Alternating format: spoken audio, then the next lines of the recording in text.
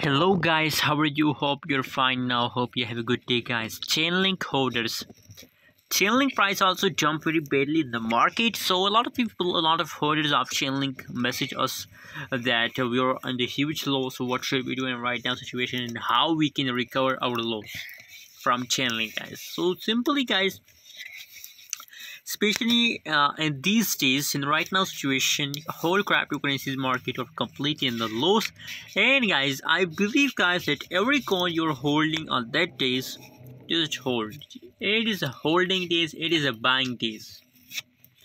So now guys the chainlink price you can see here guys. Just check out here. The high and low price in the last 24 hours Chainlink highest price in last 24 hours is $19.20 and lowest price is $17.18. So if you buy a hundred Chainlink on that price and the lowest price and hold to here, so it's unbelievable profit for all of you in last one day.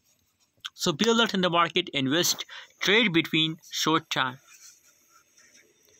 if you are active in the market so trade now guys buy now on that price guys the price are again pumping upward you can see your buy now on that price and i'm sure guys that they will hit a huge profit guys. And now i think guys that the price change will become positive guys. So unbelievable profit opportunity are coming soon. Just buy now and hold for a long time guys. Now chainlink start pumping.